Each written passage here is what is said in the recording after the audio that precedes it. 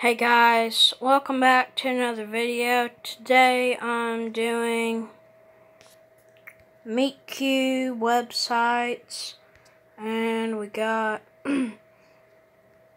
a MeetCube and so we're going to go to the mobs.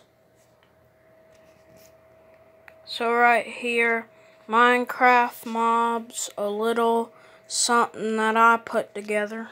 And here's the skeletons, the one that we're going to look at today.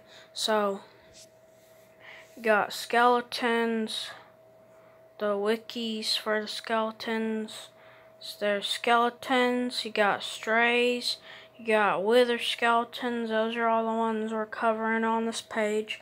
We got number one and skeletons, which would be the skeleton. So Minecraft skeletons are great at archery and almost never miss a single shot. Skeletons can pick up almost any armor or weapon that you give them.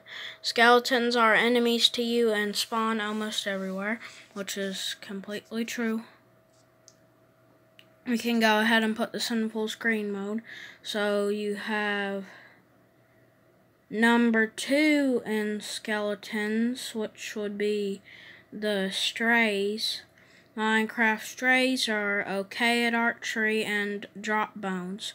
Strays also pick up weapon type items and are an enemy to the player, which means non NPC, which would mean non player characters, so it wouldn't be non-player characters, which is would be the player.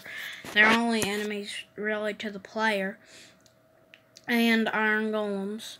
Strays only spawn in snowy biomes. So, number three in skeletons, which is the wither skeleton. The wither skeletons are mobs that spawn in the nether which is also known as Minecraft's Hell. They can carry a stone sword and drop bones, coal, and sometimes a stone sword with lower durability that can also be enchanted, but it's rare for it to be enchanted. So the skeletons, number one mobs.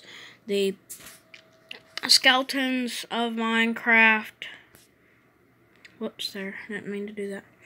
The skeletons of Minecraft are the first group of mobs on our list and are also the more famous human-like mobs of Minecraft. Skeletons are made mostly of bones and other common items that you would regularly find in the biome that you're that is related to your specific skeleton type, typical or not. The there are three different known types of skeletons that are known as skeleton, stray, and wither skeleton. Skeletons drop one to two bones, one to four arrows, and rarely drop one bow that can be enchanted. You can view Minecraft wikis to see what other types of the skeletons drop so I wrote this. It didn't take me that long to put it together. I'm working on the other um slides for these two on my computer. I'm making all kinds of other mobs like the zombies group and the pigs group, which would be the piglins, the hoglins, and the pig, of course.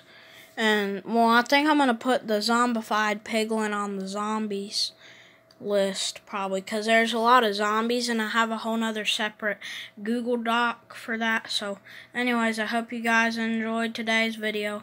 Have a nice day, and bye-bye.